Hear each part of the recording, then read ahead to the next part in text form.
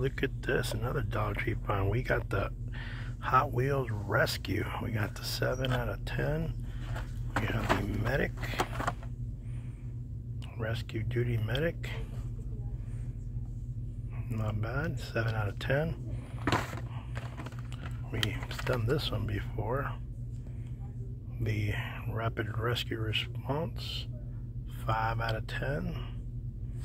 There you go. And we found this one today as well. Found this guy on a, well, it's not, there's not a guy on it, but it's Snow Stormer.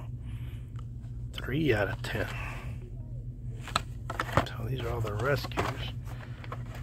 That's all we got.